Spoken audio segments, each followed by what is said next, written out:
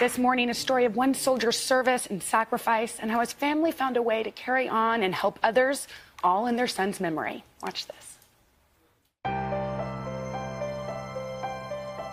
We always describe Brian as the really true all American boy. He grew up in a small West Texas town. He played sports.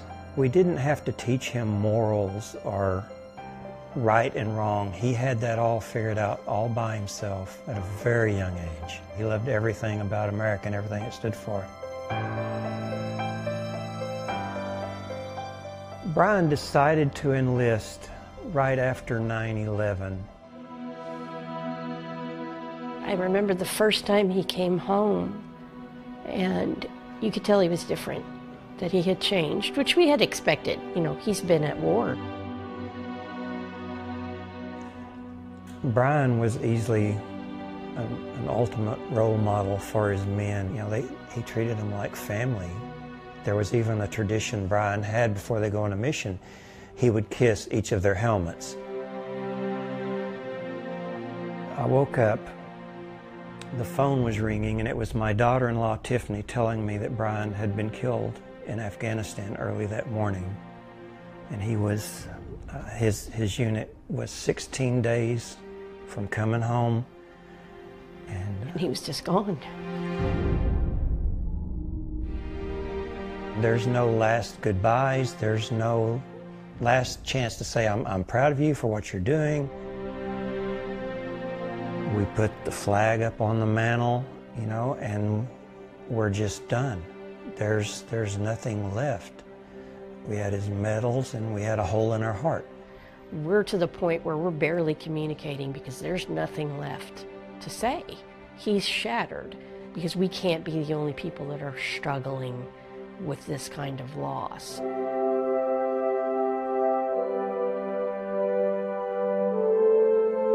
You know, military families, you hold your breath during that whole deployment, and Gold Star families never get to exhale. We never get to let go of that because we're never going to hear that ever again. It's never going to be, Dad, I'm okay. Dad, it's me. It's just gone. That's, that's, that's what being Gold Star family is. You learn how to carry that.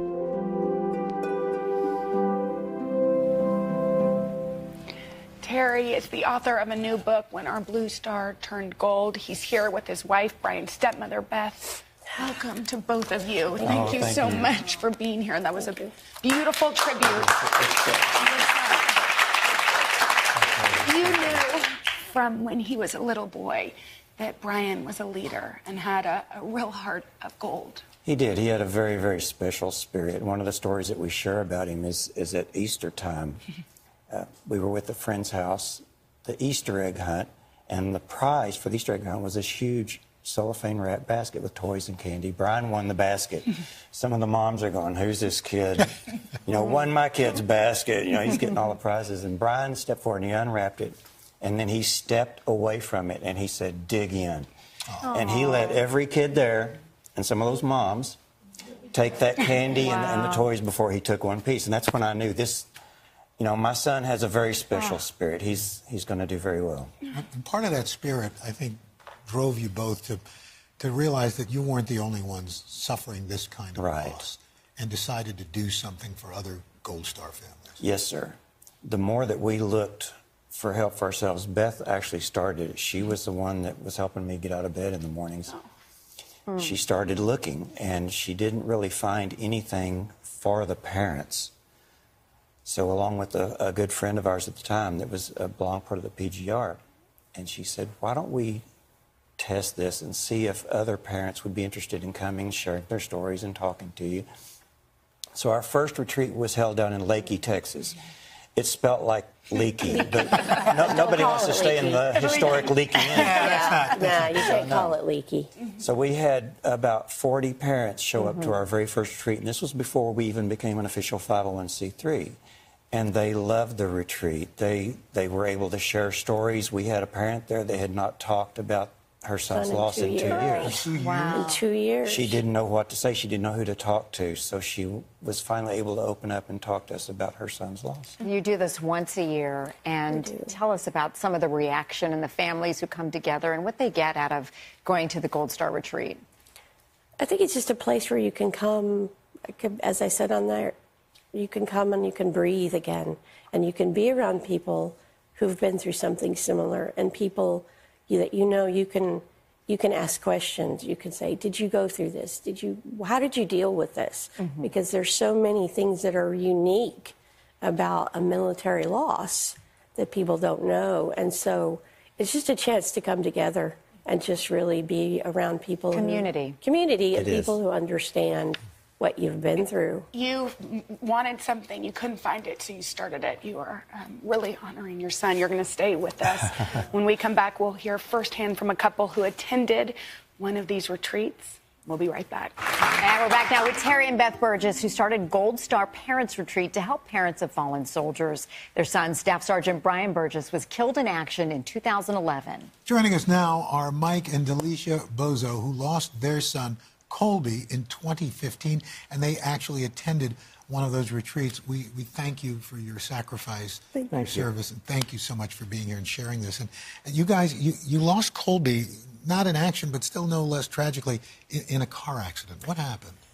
He had uh, been married for 90 days. He was in between deployments. Uh, he had made two deployments.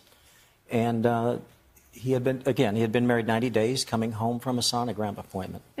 Uh, their first child was due in three weeks. Uh, a person who had just been out of prison on a previous murder charge was being chased by the police. in a stolen vehicle. And uh, he was T boned. He was killed instantly. So that's how we lost our son. Uh, the baby and Kristen, his beautiful wife, they're 100%. They're in great shape. Thank goodness. But we lost our son. And this retreat, y'all just attended it. You've lost your family, your your son.